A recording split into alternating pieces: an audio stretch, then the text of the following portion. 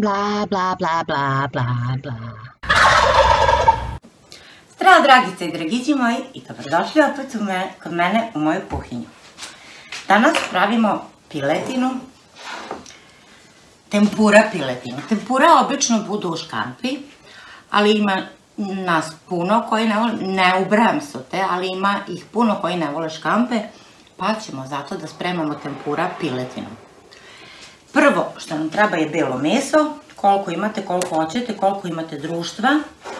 I njega ćemo da iseckamo po želji. Ja više, najviše volim ovako tanke parčadi, možete i na rezance, možete i na kružiće, kolujtiće, kako god vama odgovara.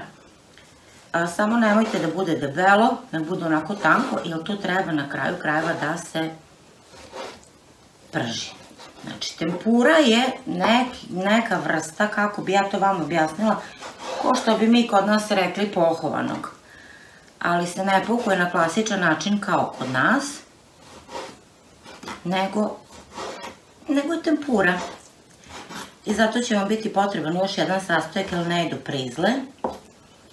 Ali o tom potom objasnit ću vam gde možete da nabavite. Sad sečemo piletinu pileće bilo, pa ćemo to sve da stavimo u marinadu i dok ono stoji u marinadi, mi ćemo lijepo da spremimo tempuru, jel? Evo, isekla sam ovu miso. Sad to prebacimo ovako u jednu činiju. I sad dodajemo marinadu. Znači dodamo malo soli. Dodamo malo bibera. Po ukusu. Ako volimo malo ljuto, kao što neki vole, dodamo malo ljute papričice. I naravno beli luk, ja ću koristiti u prahu, granulama je u stvari, i neizostavni džumbir.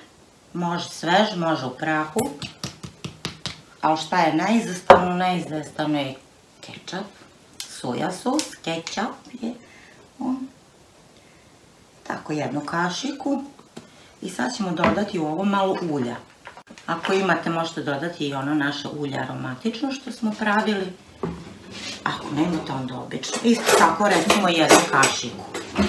I sad to sve lijepo izmiješamo. I ostavimo da se marinira. Što bolje, što duže to bolje. Najbolje je, na primjer, juče, to juče uveče napravite za danas. Vidite kako to lijepo izgleda. Šta ga lijepo? A što miriši lijepo, svi ti začini kad se pomešaju. To se marinira, a mi idemo na tempuru. Za tempuru, ili ti ono što bi mi rekli teska, nam treba jedno jaje sa malo soli, čisto da ne bude bljutavo. Sad ćemo to da ulupamo. Možete i dva jajeta, kako god. Zavisi koliko imate. Ja ovdje recimo imam neki pola kile beline. Sada u to dodajemo brašno. I to dodat ćemo jednu kašiku običnog brašna.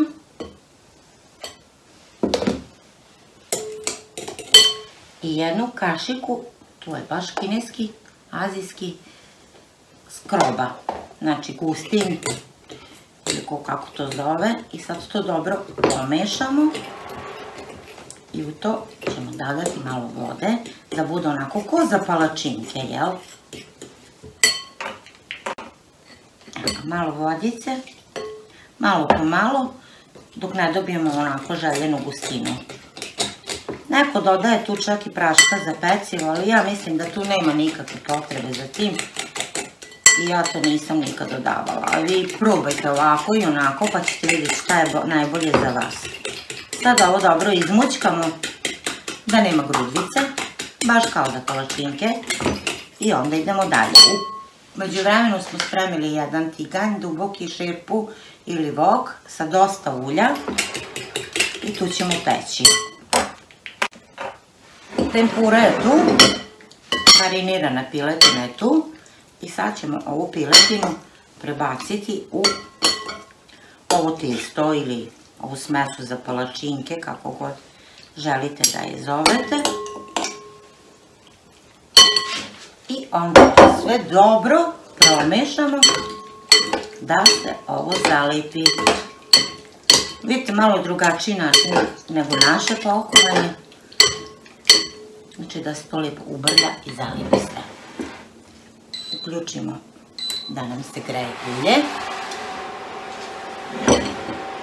I sad nam dolazi tempura. Ovako izgleda. Sad sam to na traške otvorila. Kao neke ljuspice.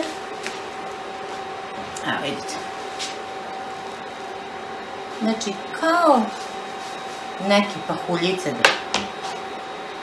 Ja pravo da vam kažem i ne znam od čega je to jer uvijek onako koristim kad mi treba. Ali ako se pitate gdje imate kupiti, imate u svim tim prodavnicama za, koja su namenjene za tu azijsku ishranu, azijsku kuhinju, ima i tamo. Imate manje, veće pakovanje, pa šta vam odgovara, tu uzmite. Ja ću odmah da pripremim negdje da ću vaditi ih. I da pripremim nešto čime ću vaditi dok se ulje greje.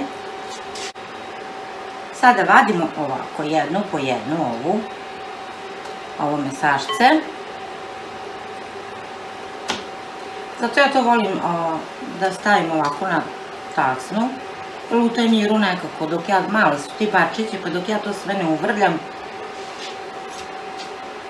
ono nikad kraja. I sad ih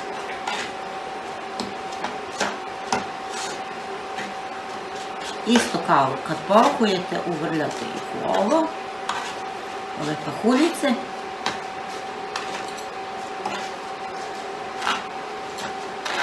Izgleda kao Rafaelo, onako kao sa kokosom da.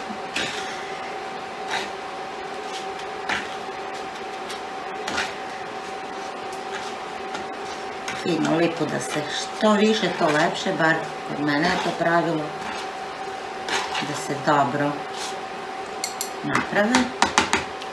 I sad ih vadimo da provjerim da li je ulje je dobro. Znači, vidite, vidite. Stavimo ih u vralo ulje da se peku. Duboko ulje.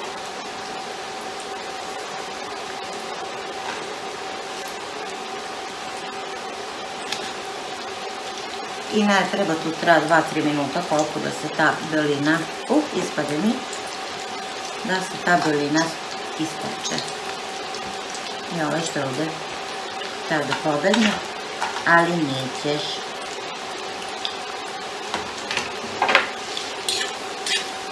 Brzo to ide jako. Ulje neka vam bude vrelo, vrelo, vrelo i pazite da se ne ispečete. Dobio onako finu bujicu. Miris, miris je fantastičan, evo gotovo je i sad već možemo da vadimo. I to lijepo tako krstavo izgleda. A za ukus ćemo da provjerimo, jel tako? Sad ćemo pokazati kako lijepo izgleda. Šta god lijepo, da? Idemo dalje na drugu turu ako treba još ovih ljušpica, to ćemo da dodamo. I dalje vadimo jedan po jedan i pohujemo. I ovo je krajnji rezultat.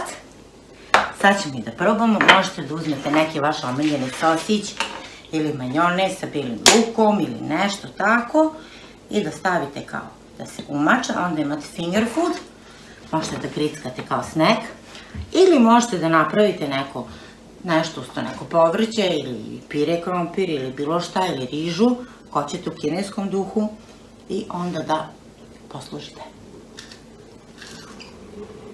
Ne znam čujete kako je hrskalo. A unutra onako meko, fino, lijepo, malo ljutkasto. Što je lijepo.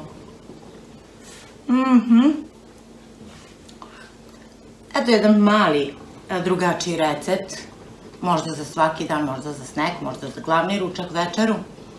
Sasvim jednostavno, a opet nešto malo drugačije i lijepo. Tempura piletina. Na naš način. I za sve one koje me gledaju na TV vlogu, posjetite moj YouTube kanal Alapača sa CH, tamo možete vidjeti razne filmiće koje sam do sada napravila sa raznim temama od kuvanja do života na salašu. Na YouTube možete da me zapratite ako vam se neki video svideo, da ga lajkujete ili da ga podelite recimo na Facebooku ili nekim drugim socijalnim medijima sa drugim ljudima.